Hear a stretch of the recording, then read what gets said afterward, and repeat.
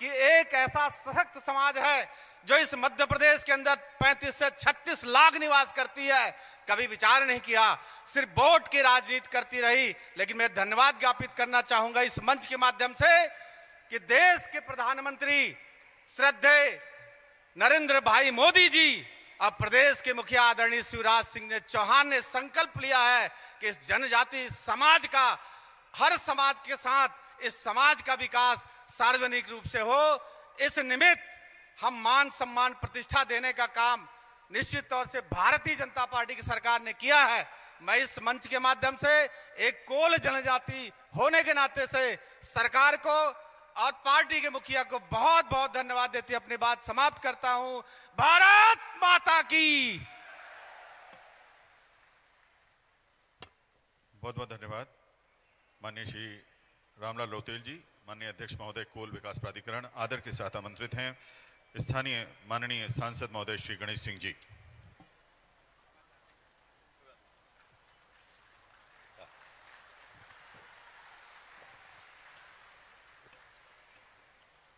सबरी माता की जयंती के अवसर पर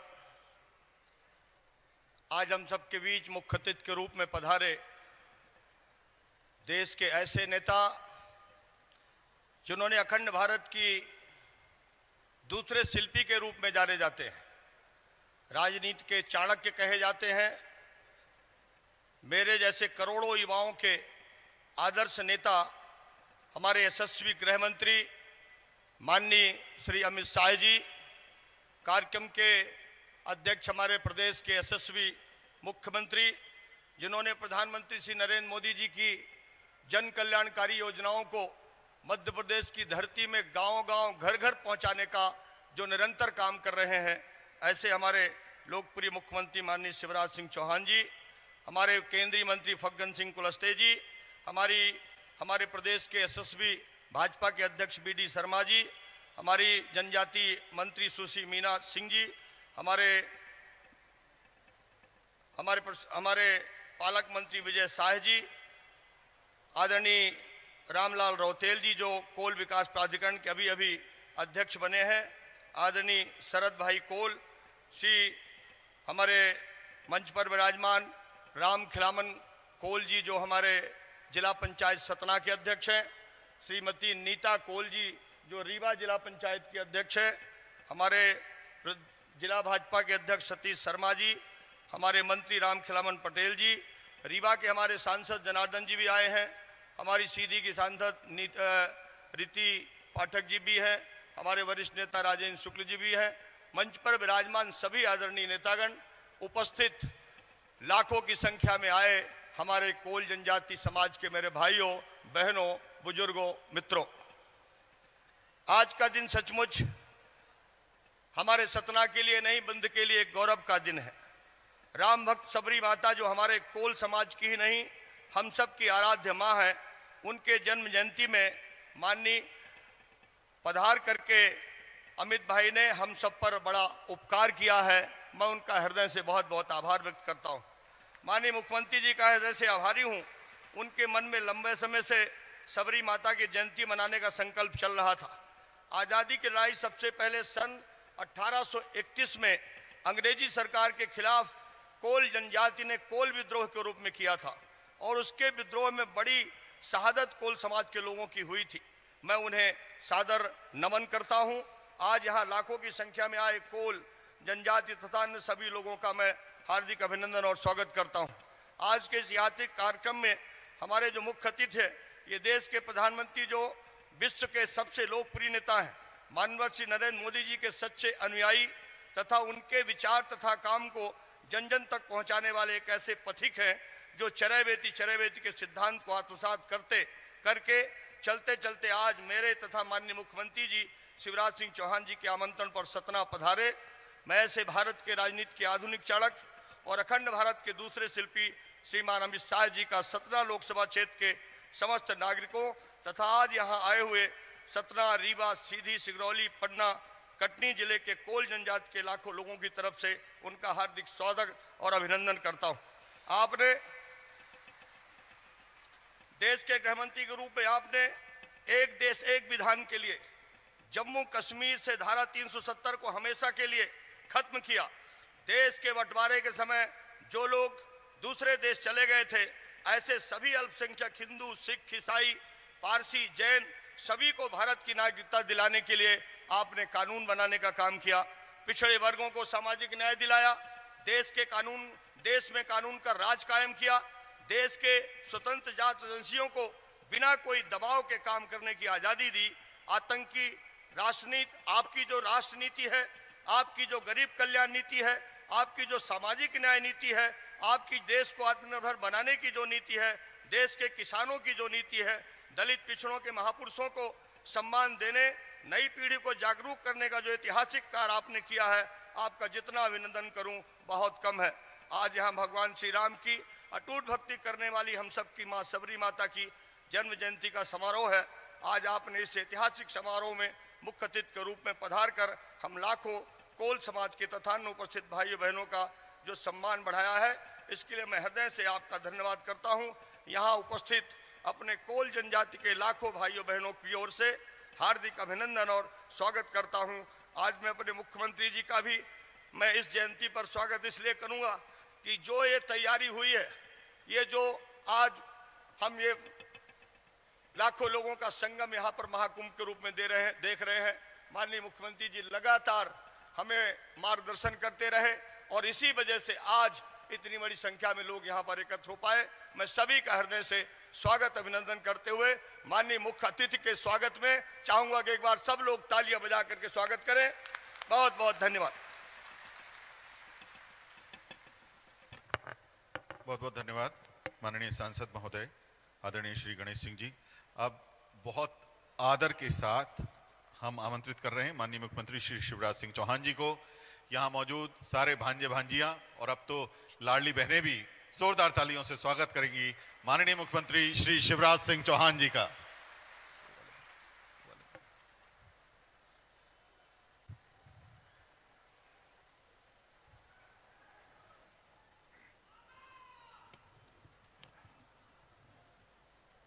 बोलिए भारत माता की। कौल समाज का महाकुंभ है, माँ सबरी की जयंती पर। एक बार दिल्ली तक आवाज़ पहुँचे। बोलिए भारत माता की। सियावर रामचंद्र की। सबरी मैया की। कौल समाज की। सभा में आए बहनों भाइयों की। और भांजे और भांजियों की आज हम सब के बीच में माँ सबरी की जयंती पर पधारे हुए भारत के गृह और सहकारिता मंत्री और मुझे कहते हुए गर्व है। अंतर आत्मा से यह आवाज़ निकलती है कि प्रधानमंत्री श्रीमान नरेंद्र मोदी जी के नेतृत्व में जिन्होंने नया भारत गढ़ दिया है, ऐसे हमारे नेता आदरणीय अमित शाह जी, एक बार दोनों हाथ ऊपर उठा के तालियाँ बजा के स्वागत कीजिए अमित शाह जी का, वंदन कीजिए अमित शाह जी का, अभिनंदन कीजिए अमित शाह जी का। ऐसे हमारे अति मुख्य अतिथि, आदरणीय अमित शाह जी, हमारे केंद्रीय मंत्री, आदरणीय श्री फग्गन सिंह कुलस्ते जी, खजुराहो के लोकप्रिय और यशस्वी सांसद भारतीय जनता पार्टी के कर्मठ अध्यक्ष श्री वी डी शर्मा जी, हमारे वन मंत्री भाई विजय शाह जी, हमारी इस विभाग की मंत्री सुश्री मीरा सिंह जी, हमारे यहाँ के लोकप्रिय सांसद आदरणीय श्रीमान गणेश सिंह जी, हमारे कौल विकास प्राधिकरण के अध्यक्ष रामलाल रोतेल जी व्यवहारी से हमारे विधायक भाई शरद कौल जी, हमारे मंत्री साथीगण राम खिलावन पटेल जी, बिसाहू लाल जी, ब्रिजलाल कौल जी, महेश कौल जी, मंच पर विराजमान हमारे सभी राजेंद्र शुक्ला जी, जनार्दन जी, रीति जी, सभी वरिष्ठ नेता, साथी पदाधिकारीगण, उपस्थित मेरी बहनों, भाइयों और बेटे बेटियों, दोनों हाथ जोड़ के आप सबको जोहार। जय जोहार। राम राम। आज सबरी मैया की जयंती है। और मुझे वो प्रसंग याद आता है, जब माँ सबरी अपनी कुटिया में भगवान राम की प्रतीक्षा कर रही थी। और जब राम भगवान लक्ष्मण जी के साथ उस कुटिया में पहुँचे तो भाव विभोर हो गई थी मैया सबरी। उनको सुंदर आसन पे बिठाया। क्या खिलाऊं? तो बहुत दिन से बेर इकट्ठे करके रखे थे बेर। वो बेर खिलाने वाली थी कि मन में आया कि कोई बेर खट्टा तो नहीं है, पहले मैं चख के देख लूँ। इसलिए पहले मैया सबरी चखती थी और फिर भगवान राम को खिलाती थी। और माँ सबरी के वो जूठे बेर प्रेम से भगवान राम खाते जाते थे, खाते जाते थे, खाते जाते थे। भाव विभोर थे दोनों, लक्ष्मण जी भी संग थे। मैया ने लक्ष्मण जी की तरफ़ भी बेर बढ़ाया, लेकिन लक्ष्मण जी थोड़ा संकोच कर गए, जूठा बेर कैसे खाऊं? तो कहते हैं वो बेर उनने पीछे फेंक दिया। और बाद में जब लक्ष्मण जी को शक्ति लगी, मेघनाद की तो हनुमान जी सजीवन बूटी गए लेने तो ही बेर सजीवन बूटी बना और लक्ष्मण जी के प्राण बचाने के काम आया। भाव विभोर हमारी, सबरी मैया, जिनके हम वंशज है। और माँ सबरी ने कहा, भगवान राम, मैंने तो तब से तुम्हारा इंतज़ार किया, जब तुम्हें देखा ही नहीं था। तुम कैसे दिखते हो? तुम कैसे हो? ये मुझे पता ही नहीं है। तुम्हारे जन्म के पहले से तुम्हारा इंतज़ार कर रही हूँ। भगवान, राम ने भी यही बात कही कि मेरे तो पहले ही जन्म में तय हो गया था कि मैं सबरी मैया से मिलने ज़रूर जाऊँगा। सबरी मैया बोली कि रावण का वध नहीं करना होता तो क्या राम तुम यहाँ आते? तो भगवान राम ने कहा, अरे रावण का वध करने के लिए तो मेरे ये छोटा भैया लक्ष्मण ही पर्याप्त था।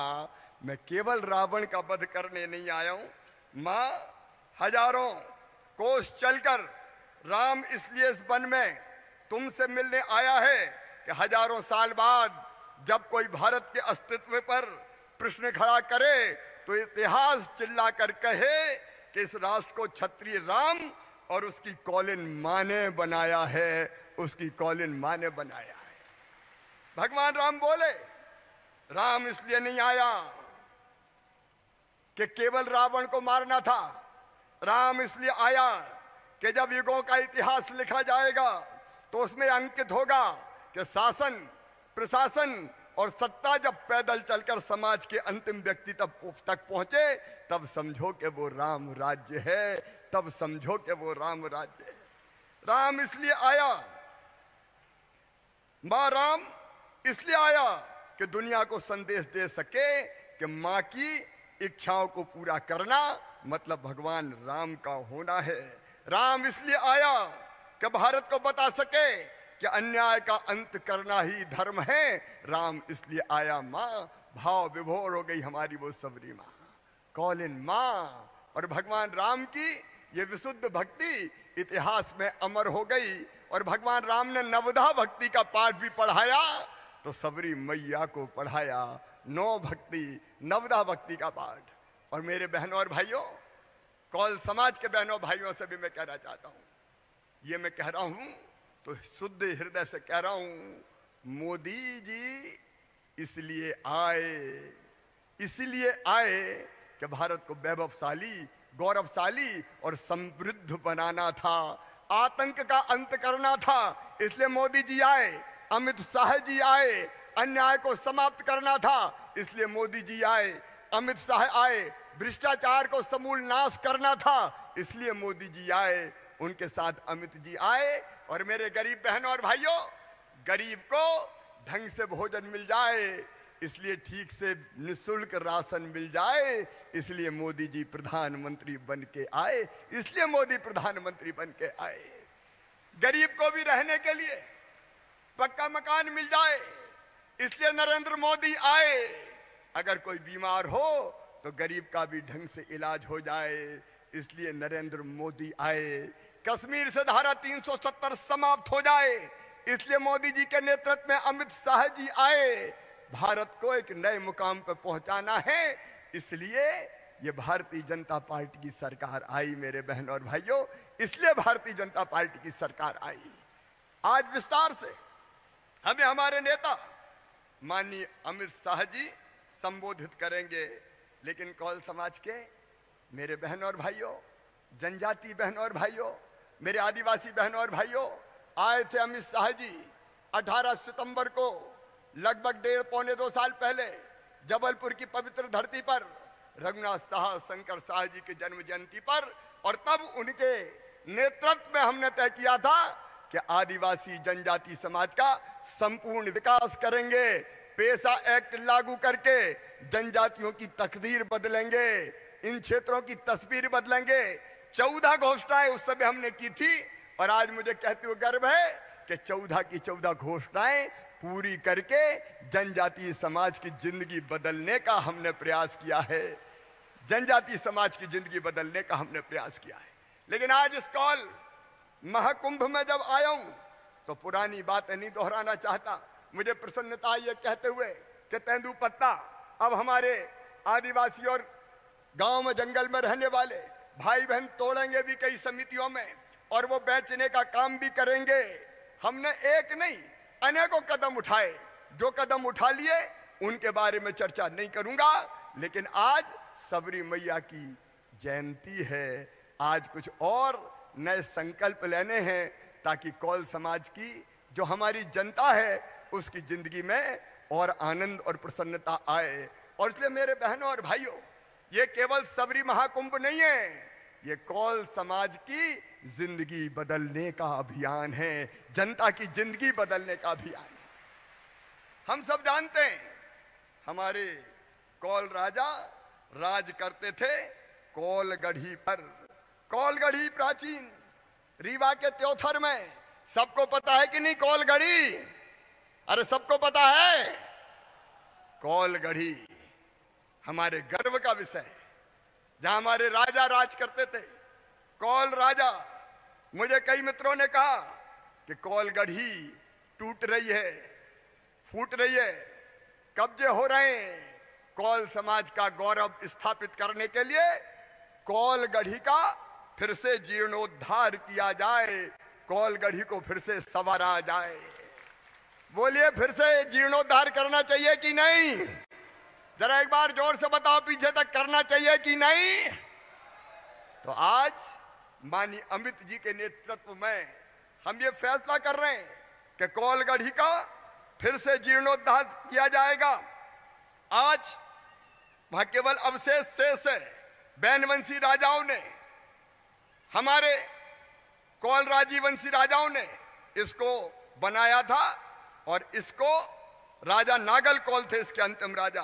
अब वहाँ हम गढ़ी की मरम्मत करेंगे, बाउंड्री वाल का निर्माण करेंगे, उसके अंदर पार्क बनाएँगे और माँ सबरी की प्रतिमा स्थापित करेंगे। उक्त गढ़ी में बिंद की गौरवशाली आदिवासी संस्कृति को दर्शाने के लिए शिलालेख होंगे।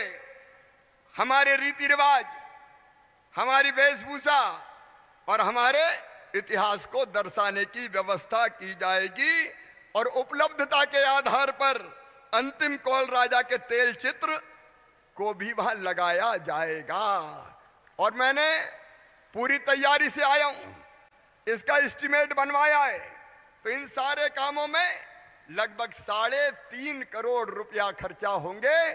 साढ़े तीन करोड़ रुपया खर्च करके कौल गढ़ी का फिर से जीर्णोद्धार किया जाएगा। एक संग्रहालय बनाया जाएगा। जहाँ कौल जाति की परंपराएँ हमारे महापुरुष, हमारे वेशभूषा, हमारे इतिहास को दर्शाने का काम किया जाएगा।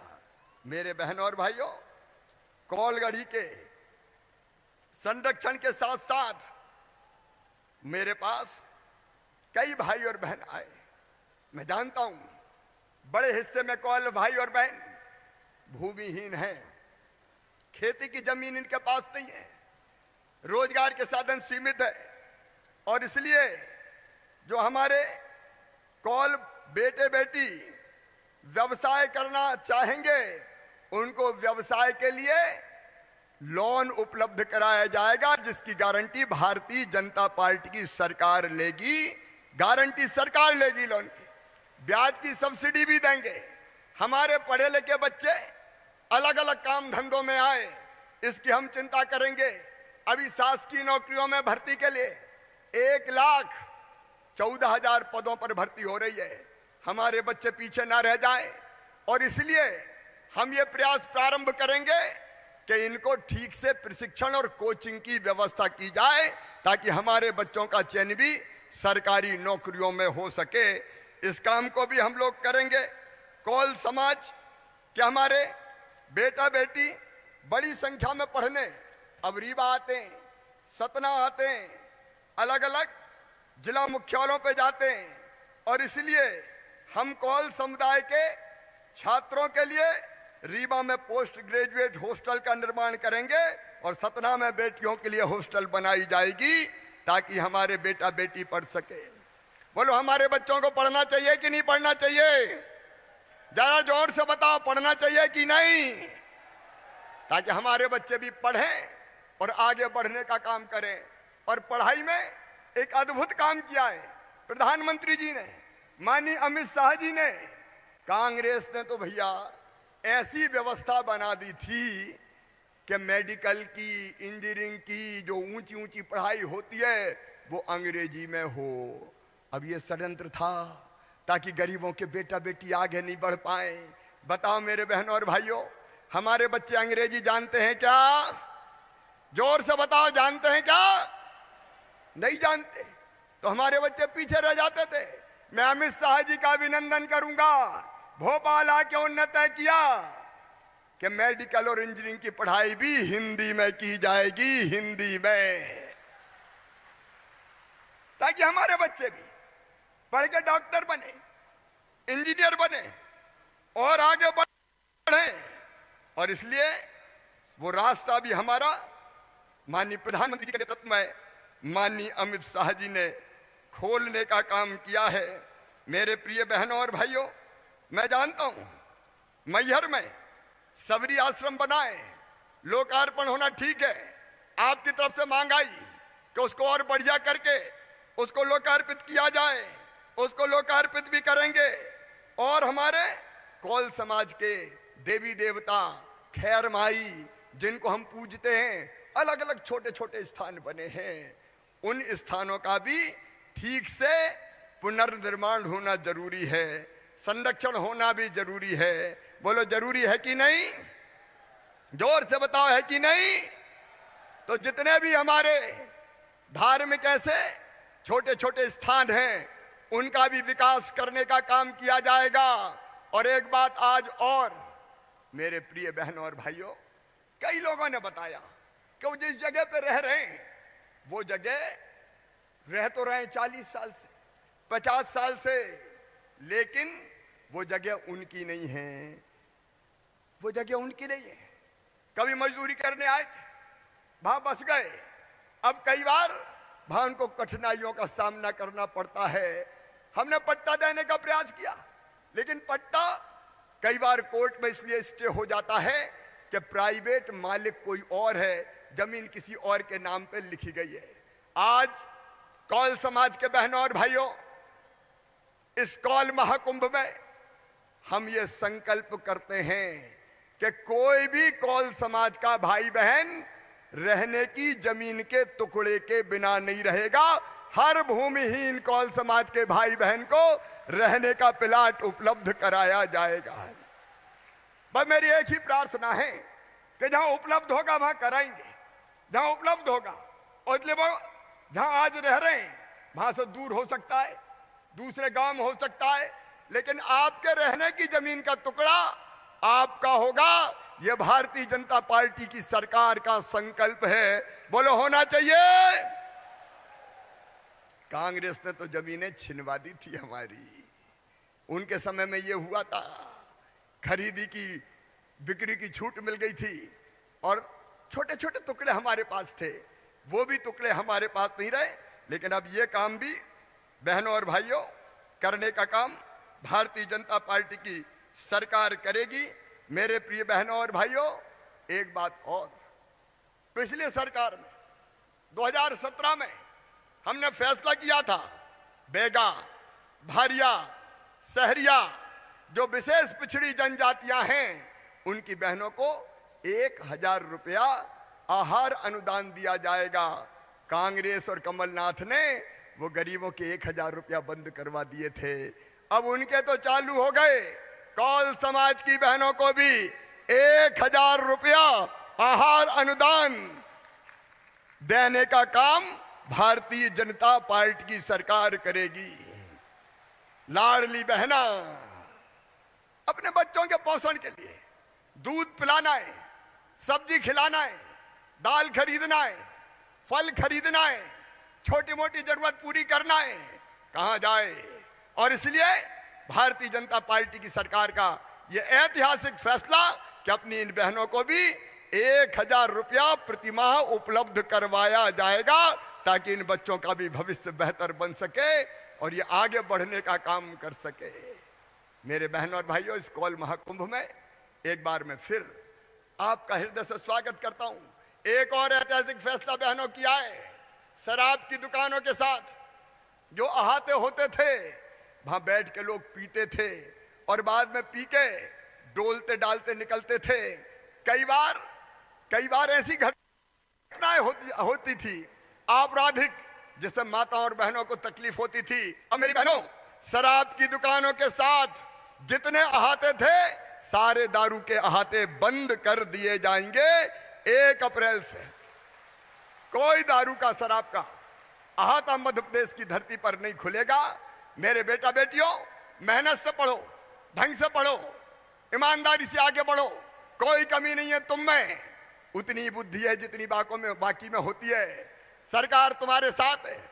दिल्ली में प्रधानमंत्री श्रीमान नरेंद्र मोदी जी, आपके कल्याण की एक नहीं, अनेकों योजनाएँ बना रहे हैं। नरेंद्र मोदी जी भारत को भगवान का वरदान है। उन योजनाओं का लाभ ज़मीन पर पहुँचाने के लिए हमने विकास यात्राएँ निकाली। पहले सीएम जन सेवा अभियान चलाया। गाँव गाँव में शिविर लगे और तिरासी लाख नए नाम हमने जोड़ दिए, जिनमें कई कौल समाज के थे जिनको राशन नहीं मिलता था, लेकिन गरीब थे, उनके नाम भी राशन की सूची में जोड़े गए। आयुष्मान कार्ड बनाए गए। अभी गाँव गाँव में विकास यात्राएँ जा रही है। और जो भी काम बचे हुए होते हैं, वो गाँव में ही करते हैं। भारतीय जनता पार्टी विकास यात्राएँ निकाल रही है और कांग्रेस केवल गाली देने का काम कर रही है। आपकी सुविधाएँ छीनने वाले ये कांग्रेस के लोग किस मुँह से आपके पास आएँगे? और इसलिए मैं अंत में यही निवेदन करना चाहता हूँ, मेरी बहनों और भाइयों, जो अपना साथ दे, बताओ उनका साथ देना चाहिए कि नहीं? एक स्वर में बताना पीछे तक, जो हमारा भला करे, उनका साथ देना चाहिए कि नहीं? और ज़ोर से बताएँ, देना चाहिए कि नहीं? तो मोदी जी के साथ आइए, भाजपा की सरकार के साथ आइए। हमारे साथ चलिए, ताकि मिलके हम कौल समाज के भविष्य को भी और बेहतर बना सके और अपने क्षेत्र की हालत भी बदल सके। हमें आपका साथ चाहिए बहनों और भाइयों, मिलके साथ चलेंगे। बोलो, तैयार हो? सब तैयार हो? तो उठाइए मेरे साथ दोनों हाथ और दोनों मुट्ठी बांधिए और संकल्प कीजिए, मोदी जी के साथ चलेंगे। भाजपा की सरकार के साथ चलेंगे, मामा के साथ चलेंगे, तैयार हो।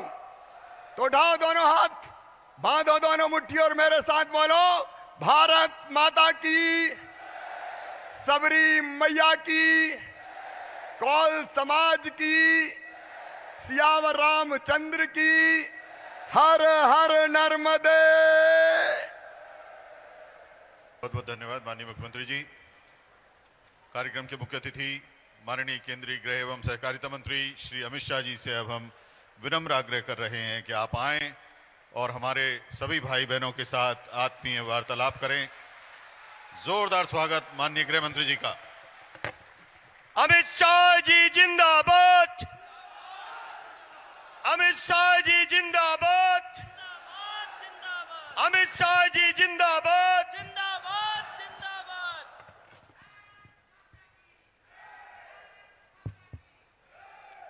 मेरे साथ बोलिए, भारत माता की। क्यों भाई, कौल महाकुंभ में ऐसी आवाज़ होगी? मोदी जी आज मेघालय में है। वहाँ तक आवाज़ जानी चाहिए। मेरे साथ सभी लोग हाथ उठाइए। फिर से मध्य प्रदेश में भाजपा सरकार बनाने के संकल्प की मुट्ठी भींचिए। और प्रचंड आवाज़ से बोलिए, भारत माता की, भारत माता की। मंच पर उपस्थित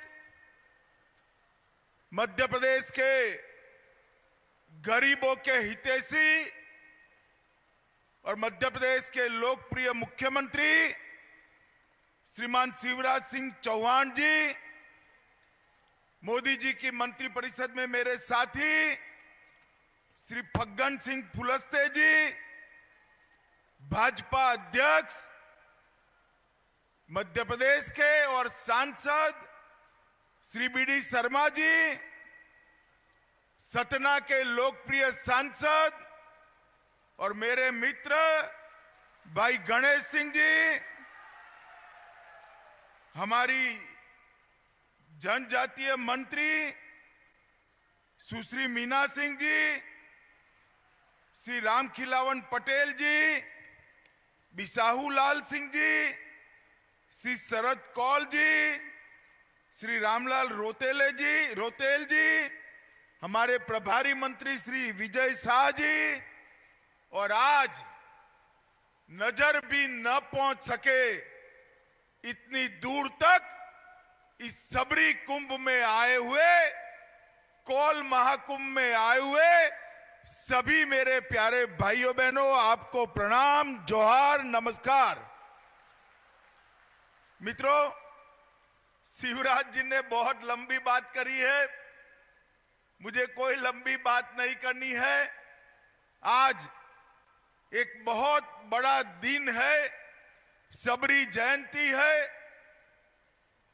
एक जनजाति माँ अपनी भक्ति से युगो युगो तक, राम भक्ति से युगो युगो तक लोगों के लिए प्रेरणा बन जाए, ऐसा जीवन और ऐसी भक्ति सबरी माँ की थी।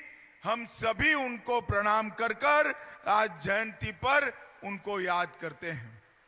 मैं जब यहाँ आया हूँ तब माँ शारदा की इस पवित्र भूमि को भी प्रणाम करना चाहता हूँ। माँ की इस भूमि पर मैं मेरे जीवन में तीसरी बार आया हूँ। जब जब भी आया, नई ऊर्जा और चेतना लेकर गया हूँ। और ये माँ समग्र विश्व का कल्याण करने वाली माँ है और आप सभी लोग सौभाग्यशाली है। कि इनके सानिध्य में आपको रहने का मौका मिला है। मित्रों, आज करोड़ों रुपये के शिलान्यास और लोकार्पण शिवराज जी ने मेरे हाथों से कराए हैं। सत्तर निर्माण कार्य 507 करोड़ के शिलान्यास 18 26 करोड़ के छोटे छोटे कामों का लोकार्पण।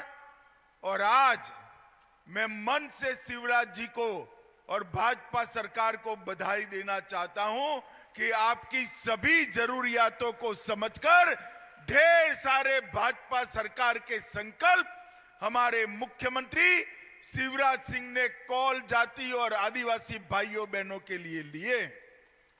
मैं पहले जबलपुर आया तब उन्होंने चौदह घोषणाएँ करी थी। मुझे लगता था मेरी उपस्थिति में मुझसे शिवराज जी घोषणाएँ करा रहे हैं, पूरी नहीं होगी तो मध्य प्रदेश के ट्राइबल भाई बहन मुझे पकड़ेंगे, मगर आज उन्होंने हिसाब दे दिया, चौदह की चौदह घटना घोषणाएँ समाप्त हो चुकी और मित्रों यही भारतीय जनता पार्टी की पहचान है। अंत्योदय, समाज के गरीब से गरीब व्यक्ति को समाज में सम्मान के साथ जीने का रास्ता लेकर जाना, ये हमारी सरकारों का संकल्प होता है। जब आपने मोदी जी की पहली बार सरकार बनाई 2014 के अंदर, तब मोदी जी ने पहले भाषण में कहा था कि मेरी सरकार आदिवासियों की सरकार है, दलितों की सरकार है, पिछड़ों की सरकार है और गरीबों की सरकार है। दुनिया भर में एक संदेश सरकार की प्राथमिकताओं के लिए मोदी जी ने भेज दिया था। और आज, नौ साल बाद पीछे मुड़कर देखते हैं तो मोदी जी ने अपने बोली हुई एक एक बात को न केवल सच साबित किया, इसको ज़मीन पर उतारने का काम किया है। एक जमाना था, कांग्रेस की सरकार थी, गरीबों के घर में शौचालय नहीं था, मोदी जी की सरकार ने 10 करोड़ गरीबों के घर में शौचालय बनाए इसमें सबसे ज़्यादा शौचालय मेरे आदिवासी भाइयों बहनों के घर में हुए, अनुसूचित जाति के घर में हुए। तीन करोड़ लोगों को घर दिया, घर में बिजली पहुंचाई, घर में गैस का सिलेंडर पहुँचाया, पाँच लाख तक का पूरा स्वास्थ्य का खर्चा, फ्री ऑफ़ कॉस्ट कर दिया। और अब मुझे बताओ भाई, सभी लोग, कोरोना का दोनों टीका लग चुका है या नहीं लग चुका है? जिनको लगाए हाथ ऊपर करो तो जरा। दोनों टीका लगाए ना। एक पैसा देना पड़ा है। मोदी जी ने कॉफ़ी भी पिलाई, कोरोना का टीका भी दिया, और पूरे भारत को कोरोना से सुरक्षित करने का काम नरेंद्र मोदी जी ने किया है मित्रों इसके साथ साथ हर गरीब के घर में प्रति व्यक्ति, प्रति माह पाँच किलो अनाज मुफ़्त में भेजने का फैसला नरेंद्र मोदी जी ने किया और देश के 80 करोड़ गरीबों को ढाई साल हो गया। ढाई साल से मुफ़्त में पाँच किलो अनाज भेजा जा रहा है। मित्रों, ये भारतीय जनता पार्टी की सरकार है। कौल समाज के सभी भाइयों बहनों को, मैं आज यहाँ आया हूँ तब 1831 का कौल विद्रोह भी याद कराना चाहता हूँ। भारतीय जनता पार्टी की सरकार ही है जिन्होंने जनजातियों ने किए हुए स्वतंत्र संग्राम के स्मारक बनाने का काम किया। मोदी जी ने 200 करोड़ के खर्चे से देश भर में 10 स्मारक बनाने का निर्णय किया। इसमें हमारा कौल विद्रोह का भी ज़िक्र सभी स्मारकों में समाहित किया गया है। यहाँ पर गौंड महारानी, दुर्गावती की बहादुरी हो, रानी कमलापति का बलिदान हो, अमर सेनानी बुद्धू भगत, जोवा भगत मादारा महतो, इनकी बात हो, ये सभी को हमारी मध्य प्रदेश सरकार ने, शिवराज जी ने कहीं न कहीं जोड़कर याद रखने का काम हमने किया है। मुझे बताओ, जनजाति समाज के भाइयों बहनों, सत्तर साल तक कांग्रेस ने एक भी जनजाति समाज के बेटे या बेटी को राष्ट्रपति नहीं बनाया था।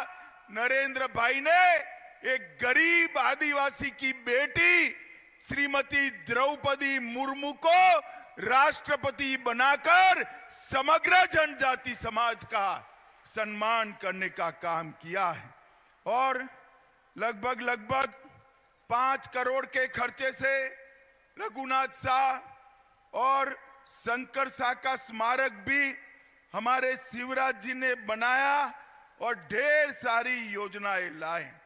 मित्रों, नरेंद्र मोदी सरकार आदिवासियों के लिए, अनुसूचित जनजाति के लिए बजट का परिव्यय कांग्रेस की सरकार में चौबीस हज़ार करोड़ था।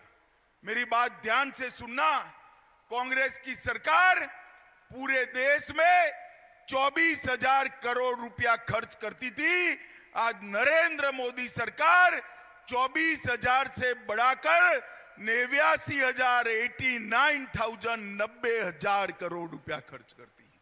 आदिवासी भाइयों बहनों के लिए, स्कूलों का, बच्चों का पहले सिर्फ़ एक कुल स्वीकृत किए गए एकलव्य मॉडल स्कूल, अब 690 किए गए हैं।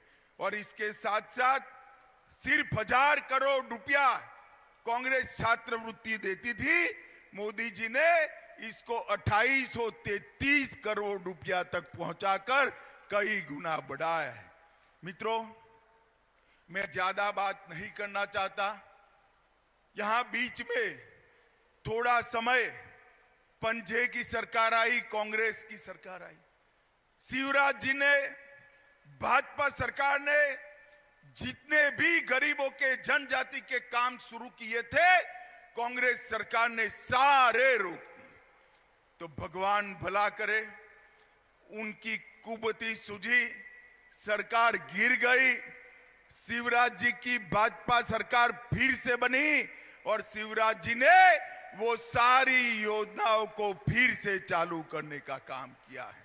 ऊपर मोदी जी, नीचे शिवराज जी ये डबल इंजन की सरकार मध्य प्रदेश के हर गरीब के जीवन में सुख पहुँचाने के लिए संकल्पित मैं आज यहाँ आया हूँ एक मेडिकल कॉलेज के उद्घाटन के लिए और आपके दर्शन करने के लिए।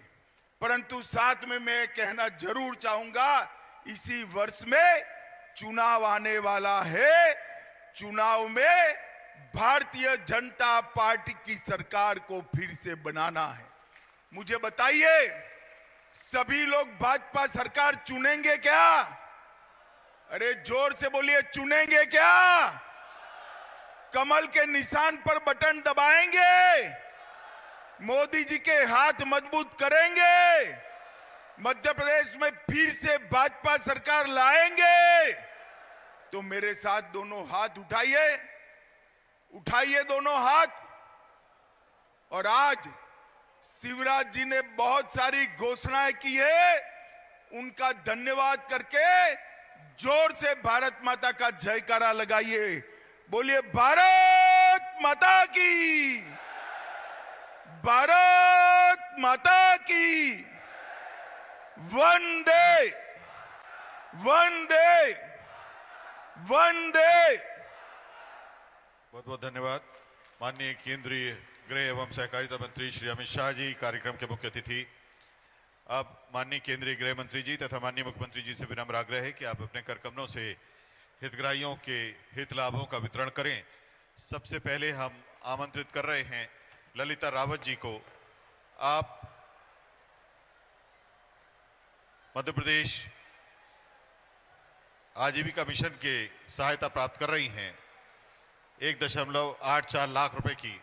इसके प्रतीकात्मक चेक माननीय मुख्य अतिथि, माननीय केंद्रीय गृह मंत्री जी तथा मुख्यमंत्री जी अपने कर कमलों से प्रदान कर रहे हैं।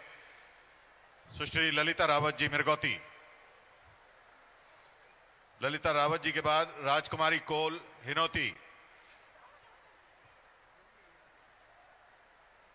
वंदना डेगरहट, इनको 60 लाख रुपए का इनकी समूह के लिए मध्य प्रदेश राज्य ग्रामीण आजीविका मिशन के ग्रुप समूह के लिए 60 लाख रुपए का चेक। पहले एक सौ चौरासी लाख, यानी एक करोड़ चौरासी लाख का चेक, उसके बाद 60 लाख रुपए का चेक। कृषि अभियांत्रिकी विभाग सत्ता की ओर से श्री प्रवीण कुमार कोल तथा श्री प्रवीण कुमार कोल को नौ लाख चौवन हज़ार चार सौ रुपए का चेक कस्टम हायरिंग सेट के लिए कृषि अभियांत्रिकी विभाग सत्ता की ओर से। महिला एवं बाल विकास की लाडली लक्ष्मी योजना के प्रमाण पत्र तीन लाडली लक्ष्मियों को प्रदान करेंगे मुख्य अतिथि महोदय एवं माननीय मुख्यमंत्री जी। एक लाख तैतालीस हज़ार रुपए के प्रमाण पत्र, स्वरागिनी कोल, पिता अनिल कोल, शायरा कोल पिता प्रदीप कोल तथा महक कोल, पिता शैलेंद्र आदिवासी। तीन हमारी लाडली लक्ष्मियाँ, स्वरागिनी, शायरा और महक।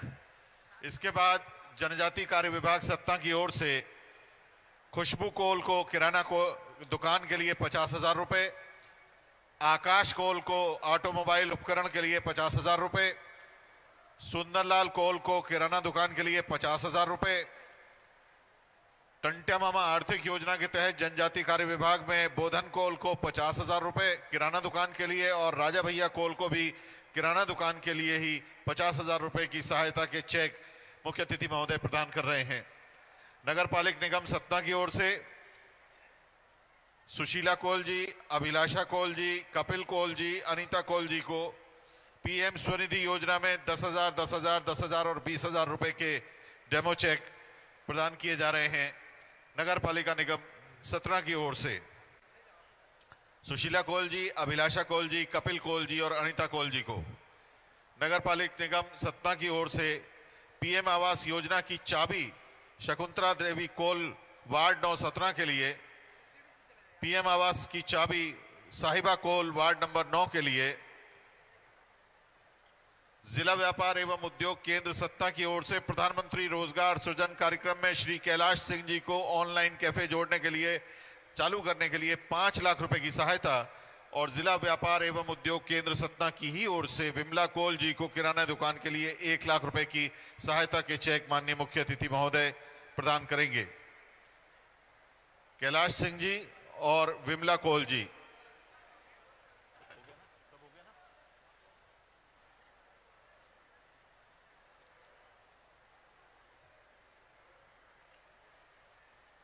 पीएम आवास योजना शहरी में प्रतीकात्मक चाबी प्रदान कर रहे हैं माननीय मुख्यमंत्री जी तथा माननीय मुख्य अतिथि जी। बहुत बहुत धन्यवाद। माननीय मुख्य अतिथि, केंद्रीय गृह मंत्री जी, माननीय मुख्यमंत्री जी तथा सम्माननीय मंच और औपचारिक रूप से आभार के दो शब्द कहने के लिए आदर के साथ आमंत्रित हैं। जिला पंचायत अध्यक्ष सतना, आदरणीय श्री राम खिलावन कोल जी।